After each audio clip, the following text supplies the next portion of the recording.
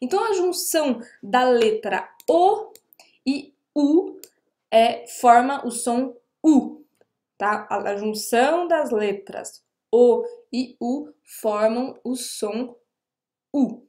E somente quando a gente tem uma palavra, ou quando a gente tem somente a letra U, a gente fala U, U, U, que é o U com o biquinho bem fechado, que é o U francês.